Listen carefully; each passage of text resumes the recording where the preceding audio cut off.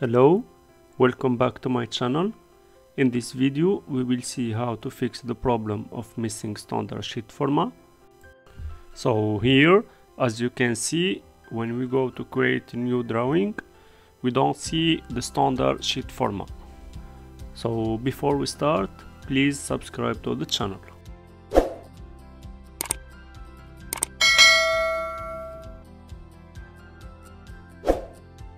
To solve this problem, go to Option, File Location, and then Edit All.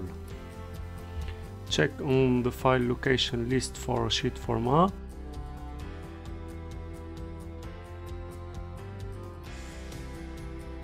And uh, as you can see, the folder sheet format here is located in French language but uh, the SolidWorks version is installed with English language.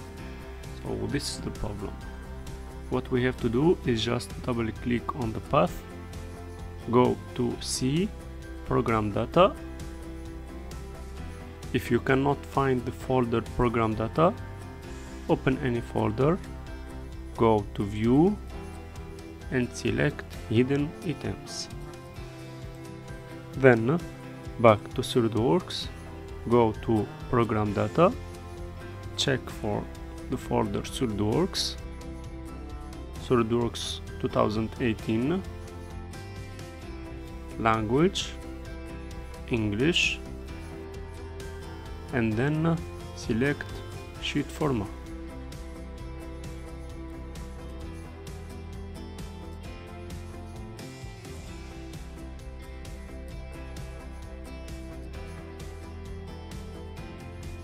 Now go to new,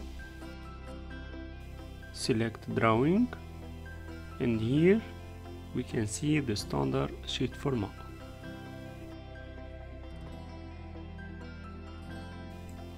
Thank you for watching and see you in the next tutorial.